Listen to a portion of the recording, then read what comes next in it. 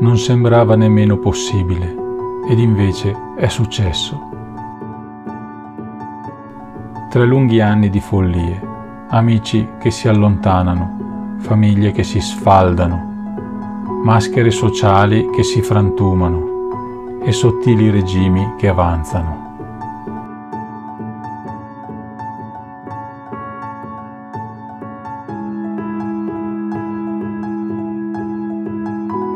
E poi la solitudine e poi il silenzio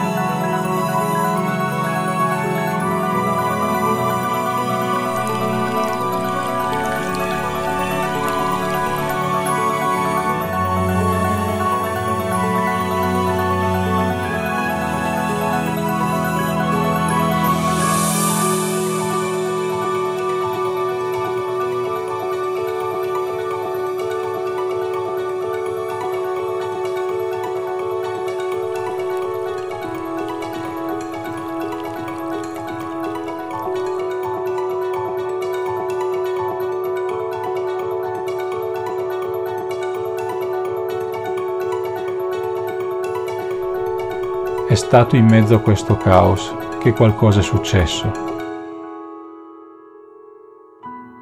È stato allora che i boschi mi hanno chiamato, una sorta di eco, una sorta di canto. La prima volta mi hanno accolto con la loro immensa vita. Essi si sono aperti a me.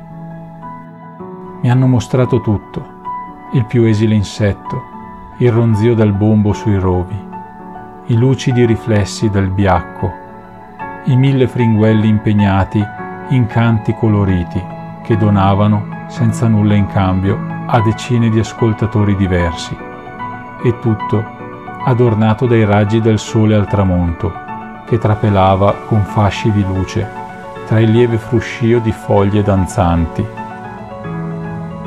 Ed ho visto l'erba flettersi al vento seguendo il ritmo di un invisibile pianista. E ho udito ruscelli bisticciare tra le ombre. E tutto questo ha danzato nella pioggia, nel sole e nel tramonto, mentre nuvole azzurre, bianche e rosa mutavano di forma in forma. E poi ho capito il valore della pazienza, la fiducia nel coraggio, il sudore nel cammino la volontà nell'attesa e l'empatia nel dolore. Emozioni di un percorso che chiede continua forza alla resilienza. E poi ho capito il calore della famiglia, lo sguardo di volti amici, il riposo di una notte e l'evolversi incessante del tempo. E poi ho capito che per ogni affronto che faranno per ogni castigo che inventeranno. Qui in Italia troveranno sempre viandanti ed inventori, poeti e disegnatori, studiosi e guerrieri, ed anime pure con dentro lo spirito dei boschi e la forza della pace. E vedranno questi eroi percorrere mille strade e resistere ad ogni attacco, fino ad innalzare quella bandiera che anche se lacera e insanguinata, mostra solamente il vero amore e la libertà universale delle creature.